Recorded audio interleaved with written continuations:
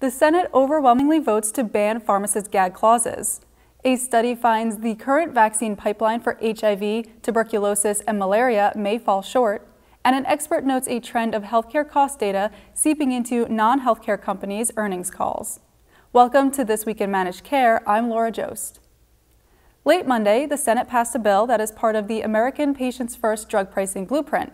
Voting 98 to 2, senators approved to end a gag clause that prevents pharmacists from telling patients if a prescription drug would be cheaper if they paid entirely out of pocket. The bill was sponsored by Democratic Senators Claire McCaskill of Missouri and Debbie Stabenow of Michigan, as well as Republican Senator Susan Collins of Maine.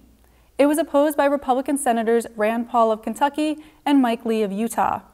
The National Community Pharmacists Association is happy with the outcome of the Senate vote.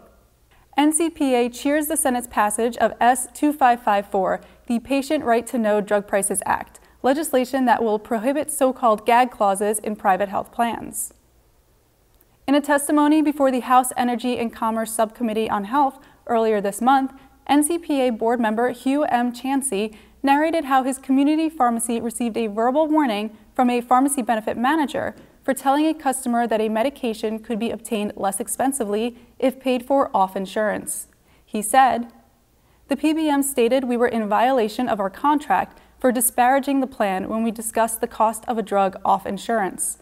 We were told that if our pharmacy were to do so again, there would be consequences, including exclusion from PBM networks. In a statement, America's health insurance plans said that drug prices remain too high and removing the gag rule won't solve the problem of patients being unable to afford their medications.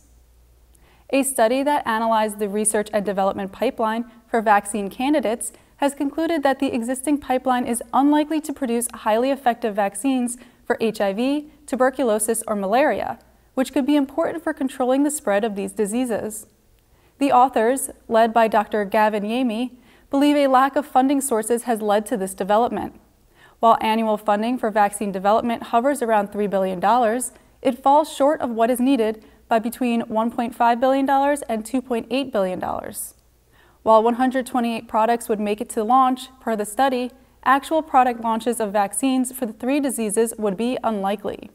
Said Yamey, the model shows us where the current pipeline is most robust and where it is lacking.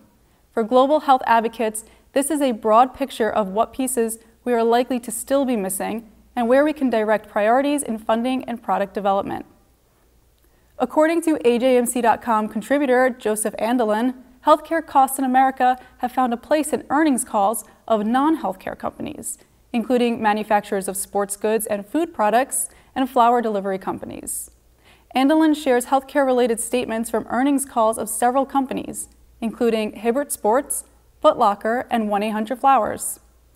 Oil and gas company Enservco Corporation reported that since the company is partially self-insured, it makes a relatively large upfront payment on each claim. For more, visit ajmc.com. To mark National Ovarian Cancer Awareness Month, the American Journal of Managed Care spoke with an ovarian cancer survivor and her gynecologist about the complexities associated with treating the disease in the presence of comorbidities and the vital role of a multidisciplinary care team. You can listen to the podcast by visiting ajmc.com.